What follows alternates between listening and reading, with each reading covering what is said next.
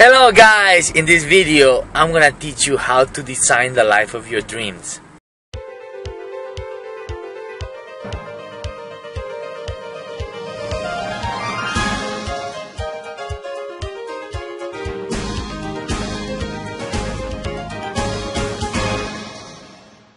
Guys, the first thing that I would recommend you to do if you want to design the life of your dreams is start reading uh, books about successful people. The first book that I read was uh, uh, Millionaire Mind by Harv Eker.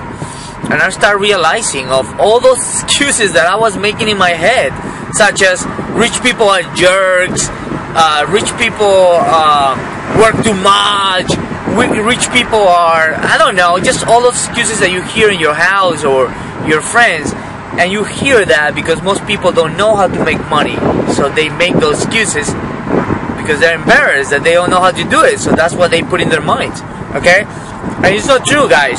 Rich people have other people working for, for them.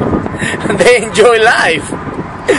so they apply leverage, you know, like right, like me right now, you know, I'm making money sleeping because you know, because the book led me to another thing and another thing led me to another thing and I finally understood how to make money online and you know, right now I'm going to to the gym and then to the spa, you know, and and and uh, I can take my computer over there to the country club and have fun you know, have fun, enjoy my, my life, you know. I used to hate Mondays.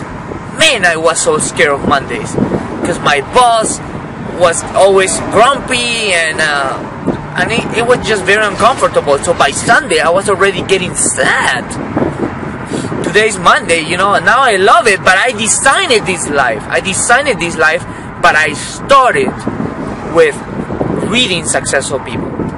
Do it every day and I promise you that success live, will leave clues. And I'm telling you, when I read this book, uh, uh, Harv Eker took me to network marketing. He says a lot of his clients were in network marketing, and then network marketing. Uh, I read every network marketing book because that's how I am. You know, when I want something, I want to know it all.